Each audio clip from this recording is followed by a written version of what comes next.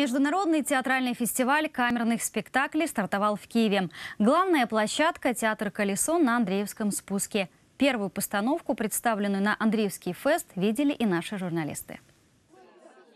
Андреевский фест – совместный проект девяти стран. Главная цель – показать искусство камерного спектакля. Представления проходят в столичном театре «Колесо». Хорошо, что Европа, как бы, вот все, кто приезжает, они видят, ну вот белорусская делегация, видите, они видят, что Киев живет, Украина живет нормальная, нормальная, обычная, хорошая, творческая жизнь.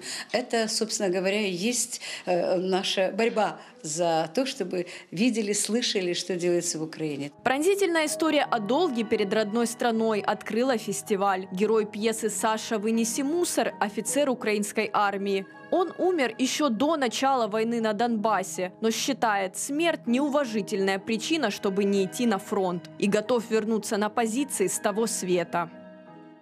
Я! Серега! Серега тоже полковник! Тоже умер от остановки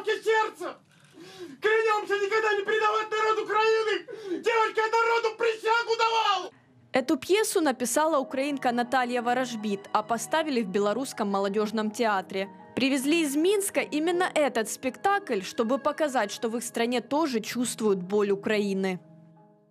Ну, я считаю, что это неимоверно актуально. И э, мы, мы переживаем за то, что происходит у вас. И мы и сочувствуем, и сожалеем, и поэтому мы у себя дома обязаны об этом говорить, потому что мы не должны молчать.